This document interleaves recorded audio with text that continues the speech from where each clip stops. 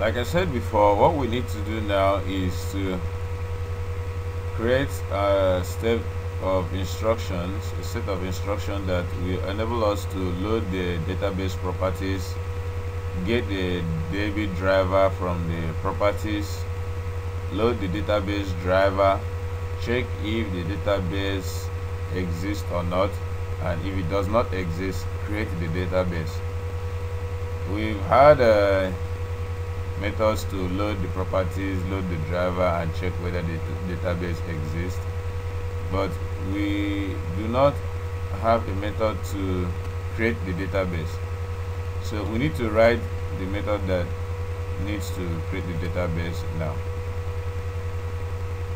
Okay. So I'd like to write such a method down here. I'm gonna make the method to be private so it can't be accessible I call it create database?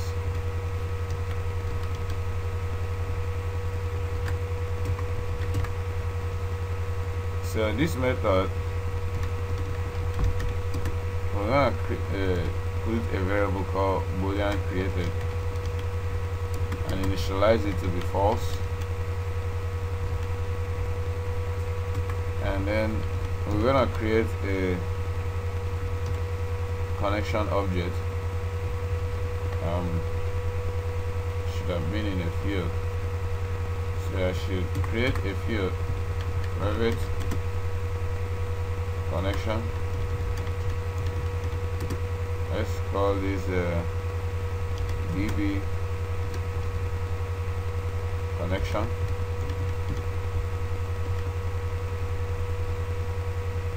This connection object which we are going to import from java.sql.connection will enable us to have a connection to the database. So we're going to initialize it to be null this the db connection. Is going to be equal to null. And um, we need to get the database URL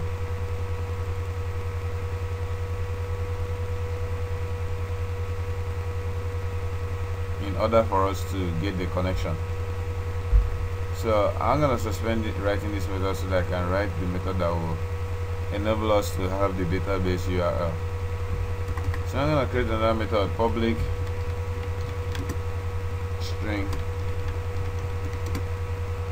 get database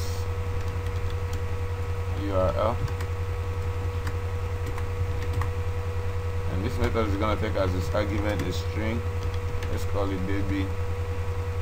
URL to be equal to this dot db properties dot get property. Takes as its argument um, the DB URL recall we had a properties in our configuration properties file called DB URL which gives us the URL to the DB database.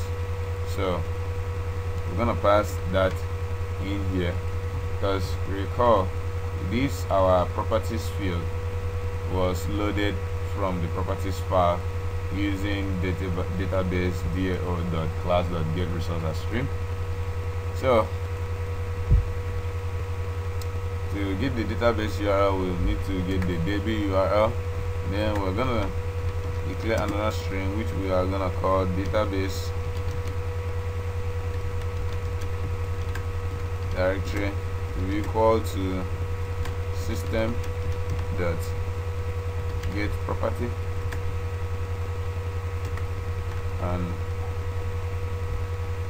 recall that we under resource manager we created a system property called app.system.database so we're simply gonna get that system property app.system.database that will give us the database directory.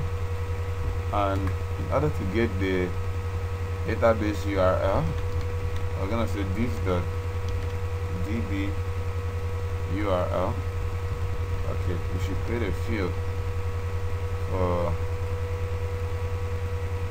the database url so i'm gonna back up and i would like to create a field for that. So private string db url so I'm gonna come down here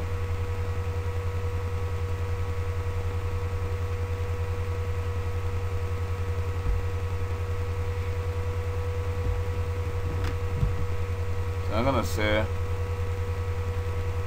this dot db url to be equal to derby URL concatenated with the database directory. The joining of the DB URL and the database directory is going to give us the database URL. So, we're going to simply return this dot db url and that will give us the database url that we will need in creating the database. So let's go back to the create database method. The create database method we are simply going to call this dot db url to be equal to this dot get database URL and then to test it whenever we run it, this application we're gonna say system dot out dot print line